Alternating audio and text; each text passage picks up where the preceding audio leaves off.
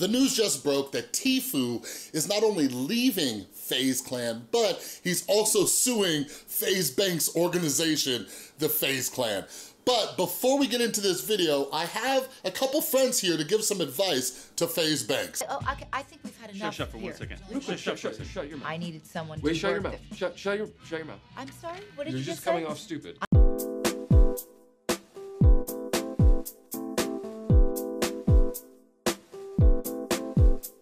What is up, everybody? This is Chris from The Rewired Soul, where we talk about the problem, but focus on the solution. And if you're new to my channel, what I like to do is take a look at the YouTube community, the Twitch community, pop culture in general, and try to see what lessons we can learn from them. So if you're into that stuff, make sure you subscribe and ring that notification bell. So the, the purpose of this video it, I hope I can provide some advice to anybody who wants to become a YouTuber or wants to become a, a pro gamer or Twitch streamer, but I also want to let all of you other people out there a little bit behind the curtain of what's going on and kind of explain this, all right? So first, let me qualify myself and why I'm even talking on this subject. Those of you who have been subscribed to my channel for a while, you're like, Chris, why are you covering gaming news? Well, just real quick, real quick, brief summary of my past. Um, right after I got out of high school and during high school, I was really into a game called Counter-Strike. I ended up writing for a professional esports organization. This was when I was 18, so we're talking about 15 years ago. This was when esports was first getting big. Um, I was very fortunate at a young age. I got to travel all over the world. I've been to Sweden, I've been to France, I've been to Spain, all to go to professional gaming tournaments. And I've worked for not only a, a news organization called GotFrag, but I was also the coach of Team 3D, all right? So I've been in this realm for over a decade now, all right? Cool. So the first thing I wanna talk about is this isn't new, okay? Organizations screwing over players, it's not new. And something that's becoming a conversation again now with the huge announcement that Tfue is leaving FaZe and potentially suing them, like more people are talking about like, you know, players need representatives and, you know, maybe they need to unionize and everything like that. I have various opinions on that, but I just want you to let you know that this is something that's been going on for years now, okay? And the landscape has changed so much, so much from when I first got into the whole professional gaming industry, okay? And here's what I mean by that. Like now, now it is possible for players like Tfue, you see it with Ninja, where they can just be their own brand and their own person. What I've noticed is that these gaming organizations are kind of like MCNs for YouTubers. And here's what I mean by that. If you're a YouTuber, or if you've heard about, you know, MCNs and YouTubers, like one of the most recent ones was with Defy Media. What MCNs do, they're management companies, right? And they approach uh, up and coming creators. And they're like, yo, sign a deal with us. We'll help promote you. We'll help manage all your stuff. We'll help get you brand deals. We'll do all these things. They make a ton of promises and they awfully, often don't fulfill those promises. They don't hold up their end of the bargain. And typically what happens with MCNs and what we see with gaming organizations is they try to get as many people under their umbrella as possible because it brings them in more money. Because what they're doing is they're having people sign contracts saying that we get this percentage, you get this, right? But the thing is, is that in most of these contracts, people are getting screwed and MCNs, they're taking money from people, but they don't have to hold up their end of the bargain. If you hear YouTubers talking about this all the time, like bigger MCNs, they usually focus on the largest creators and provide them with a lot of support, but all of the people that they're getting in under their umbrella don't get as much love and attention, all right? So it's important to understand that. Now, in my opinion, MCNs, gaming organizations, they take advantage of YouTube creators, they take advantage of gamers. In many cases, not all cases, I've heard of some MCNs being pretty good, I've heard of some gaming organizations being fair to the players, but this is a, a an industry where they take advantage of people who are coming up, coming up in this industry that isn't fully defined yet and there's not regulations or anything like that or enough regulations. So they're taking advantage of people who don't know the realm, don't know the industry, they're starting to see, oh my God, I can do something I love and create a career out of it and you know, be in front of millions and millions and millions of people. So a lot of people are going into these situations very naive and very ignorant. So again, like this video, I hope some of you out there who want to become a YouTuber someday or a pro gamer someday, like I hope you take these things into consideration because I've been watching this for over a decade now, okay? And I believe that's what we're seeing with the whole Tfue situation, all right? And here's the thing, the way this landscape has changed, like you don't need you don't need an MCN. You don't need a gaming organization. Like, I believe that we are currently in a time where you don't need these, these massive organizations to help you and build you up and everything like, we're living in a time where you create, can create your own brand by yourself. And that's the beauty of the time that we're living in. But here's the tricky part, all right? There's a lot that goes into it, especially when it comes to Twitch streamers, pro gamers, they have a lot, a lot that they have to manage, okay? So they stream on Twitch and they're doing this for hours upon hours upon hours a day. That is their full-time job. But what we're seeing with people like Tfue, with people like Ninja, I love SypherPK, you have uh, Tim the Tatman, and things like that, like you have to get your yourself out there in front of everybody. So they also have YouTube channels. They also have Instagram accounts. They also have their Twitter and they're putting highlight clips and everything like that. Like this is very, very time consuming. So the tricky part is, is to do it all by yourself would be very difficult and you would get overwhelmed very, very quickly.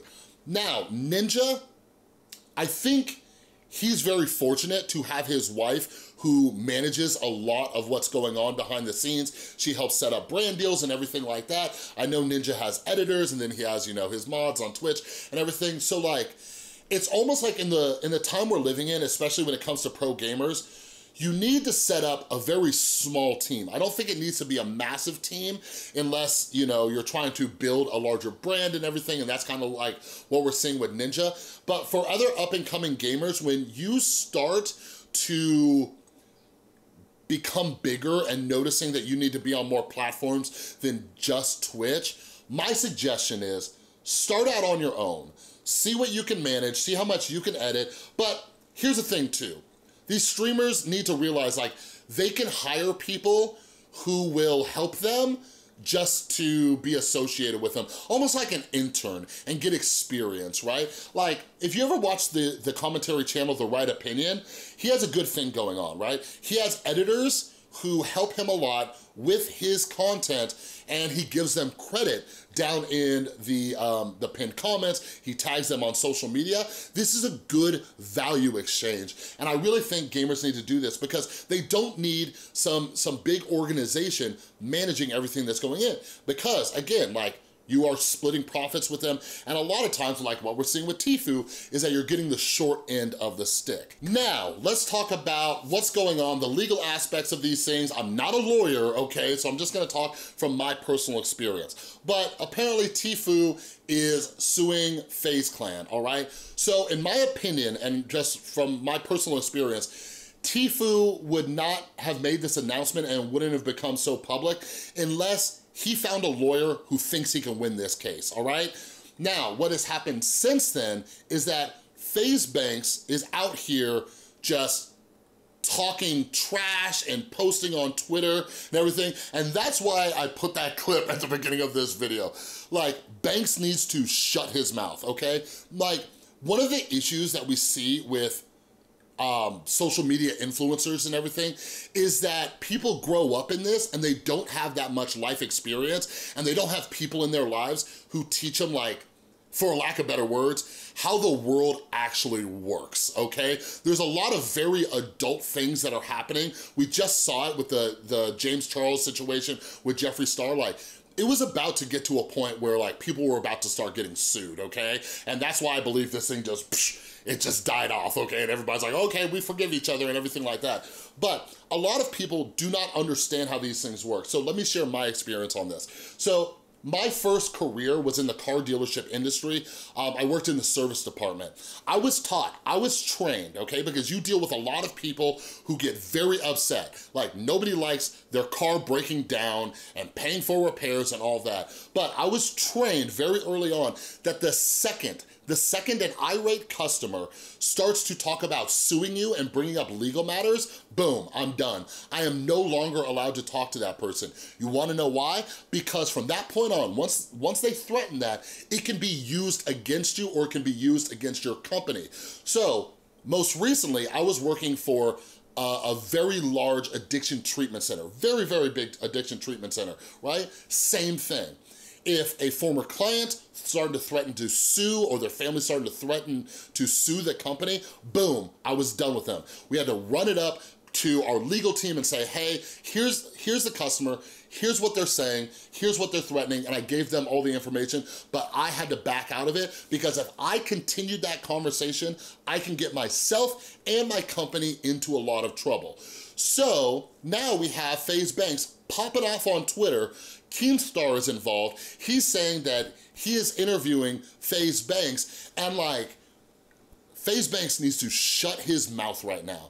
He needs to shut his mouth, he needs to consult a lawyer and handle this situation very, very delicately. Because if this is true and this is, and like, unless they do some settlement, if this actually goes to court, like anything FaZe Banks is saying on Twitter, or if he says it in an interview with Keemstar, can be brought up to help Tfue win this case, all right? Now, in my opinion, um, I think, you know, Tfue is probably owed some money. A lot of these contracts are garbage.